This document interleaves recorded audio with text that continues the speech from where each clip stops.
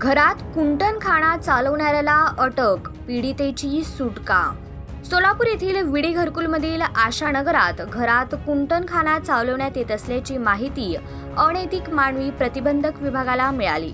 या माहितीवरून पोलिसांनी बनावट ग्राहक पाठवून एका आरोपीला अटक केली असून पीडितेची सुटका केली आहे.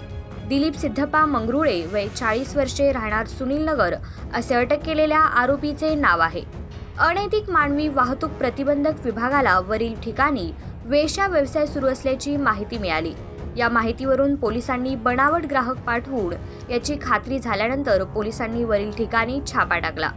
त्यावेळी एका पीडितेची सुटका केली. आरोपी हा पीडितेला पैशाचे आमिष दाखवून तिला वेश्या व्यवसाय करण्यास भाग पाडत तिच्याकडून वेश्या व्यवसाय करवून घेत होता. त्याच्यावर M I D C police ठाण्यात गुन्हा दाखल करण्यात आला असून त्याला न्यायालयात हजर केले असता न्यायालयाने एकतीस मार्चपर्यंत पोलीस कस्टडी सुनावली आहे.